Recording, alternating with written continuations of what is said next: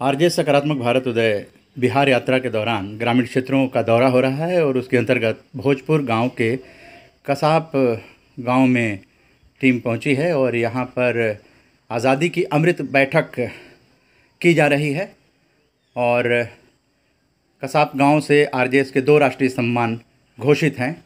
एक नेताजी सुभाष चंद्र बोस के नाम का और दूसरा आरजेएस राष्ट्रीय सम्मान लाल बहादुर शास्त्री जी के नाम का है। तो यहाँ परिजन जो हैं, वो क्या कहते हैं अपने परिवार के दिवंगत आत्माओं के बारे में, नेताजी सुभाष चंद्र बोस के बारे में? इस बारे में आज़ादी की अमृत बैठक में क्या कुछ जानकारी मिली आप तक पहुंचाना चाहेंगे? जय हिंद, जय भारत।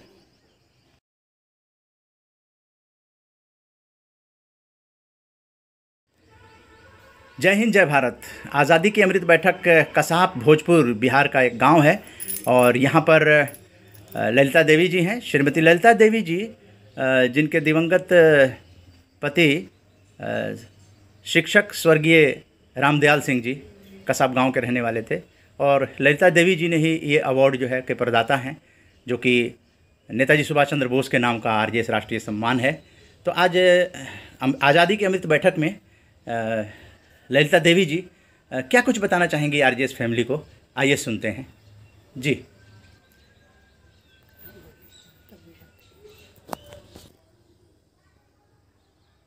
मैं सभी को प्रणाम करती हूँ। मेरा नाम ललिता है। मैं कसाप ग्राम निवासी की रहने वाली हूँ, भोजपुर जिला और बिहार की रहने वाली हूँ। और मेरे आज आए हैं। मैं उसी में कुछ बात करना चाहती हूँ, हमसे कुछ पूछना चाहते हैं। मुझे क्या, मेरे गाँव में तो सब मन ठीक है? हम लोगों की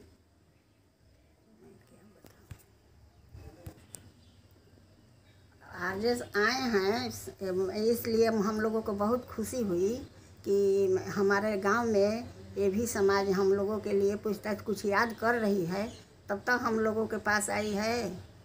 और लोग उनकी मानते थे, उनकी जो इच्छा थी, जो उनकी विचार थी, उन लोगों को विचार हम लोग अपनाते थे, हम लोगों को अच्छा लगता था। उनके विचार के अनुसार हम लोग भी चलते थे। वो मेरे हस्बैंड, वो तो गाँव के बारे में और देश के बारे में, यानी बच्चों के बारे में बहुत आगे बढ़ने के लिए ही सोच रहे थे। और उनकी सुविधा भी देते थे, विचार भी देते थे, शिक्षा भी देते थे। और लाइब्रेरी किताब के लिए भी मोहल्ले में, गाँव में बच्चों के लिए बांटते थे कि पढ़कर बच्चे लोग माने अच्छा शिक्षा शिक्षित बने। हमेशा उनकी बढ़ाने की ही इच्छा थी। हाँ स्कूल में भी वे टॉप मानते थे, सब शिक्षक उनकी मान सम्मान करते थे। पढ़ाई में भी सब बच्चों को अच्छा से पढ़ाते थे। जो आज तक पढ़ के गए हैं बच्चा वो भी लड़का बोलता है कि उनके जैसे शिक्षक आज तक नहीं आए फिर इस स्कूल में। हाँ। अच्छा सोच तो हम लोगों को भी है कि सभी बच्चे पढ़ लिख कर आगे पढ़े सर्विस करें अपने कमाए मैंने परिवार अच्छा से देखे बाल बच्चा अच्छा से देखे। हाँ, मैं अपने बड़े लड़के को फौज में भेजी हैं वे। एक लड़के को देश की सेवा के लिए भेज दी वो भी अपना अच्छा से काम किए रिटायर भी हो गए। और फिर अपना भी रोज़गार जो है वो कलका में, चंडीगढ़ में कर रहे हैं।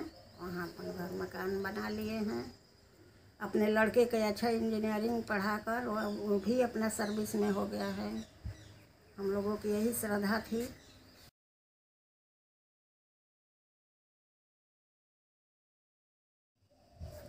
जय हिंद, जय भारत। मेरा नाम अखिलेश कुमार सिंह है, पिता स्वर्गीय वीरेंद्र प्रसाद सिंह। कसाब ग्राम से हम निवासी हैं, लेकिन अभी हम हैदराबाद में प्राइवेट जॉब कर रहे हैं। वहाँ से भी छुट्टी हम गाँव आए हुए हैं और ये आज अमृत गाथा, राजेश की तरफ़ से अमृत गाथा की जो बैठक हो रही है, बहुत खुशी हो रही है। इस बात से कि दिल्ली से चल करके आरजेश एक छोटा सा गाँव में आकर के ये अभियान चल रहा है, सकारात्मक बैठक।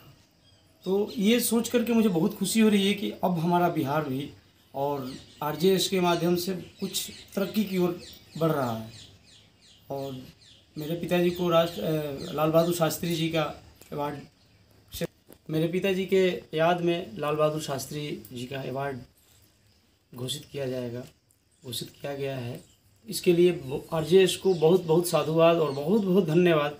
कि हमारे पिताजी को इस योग्य समझा गया। हालाँकि पिताजी अब इस दुनिया में नहीं हैं, स्वर्गवास हो गए हैं तो उन, फिर भी उनको आज हम याद कर रहे हैं और हम तो याद, हम तो परिवार हैं।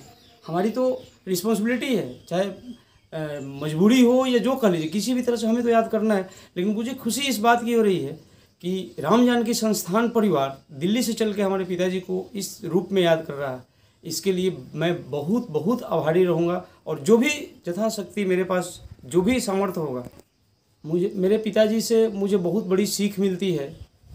उन्नीस सौ इकहत्तर जब पाकिस्तान की युद्ध हुआ था, उस समय मेरे फादर आर्मी में ज्वाइन किए थे। उसके बाद रिटायरमेंट आने के बाद में Steel Authority of India Limited, Bokaro steel plant में उन्होंने सेवा किया और वहाँ से सेवानिवृत्त 2013 में जाकर के सेवानिवृत्त हुए। तो उनसे मुझे पॉजिटिव ये मिलता है कि उन्होंने ऐसा नहीं सोचा कि एक आर्मी की नौकरी कर लेने से हम संतुष्ट हो गए। उन्होंने जीवनोपरांत आगे बढ़ने की सीख हम लोगों को देते रहे।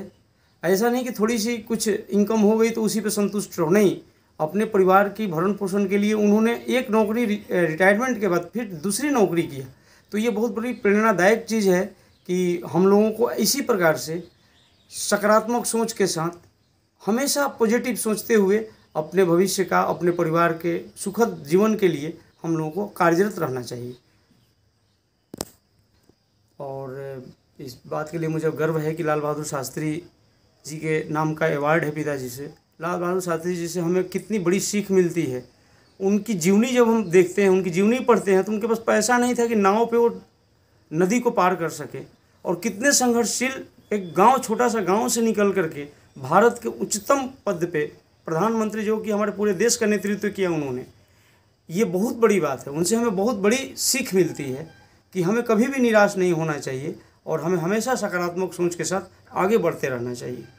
जैसे कि सुबह सूरज निकलता है तो एक हमें सीख देता है कि कभी आज सूरज निकला है, फिर शाम होगा, फिर ढलेगा, फिर अंधेरा होगा, लेकिन फिर दूसरे दिन तो कभी थकना नहीं है। हमें सुख पाने के लिए रोज़ जागना है और रोज़ जग करके सपने देखने हैं। जय हिंद, जय भारत।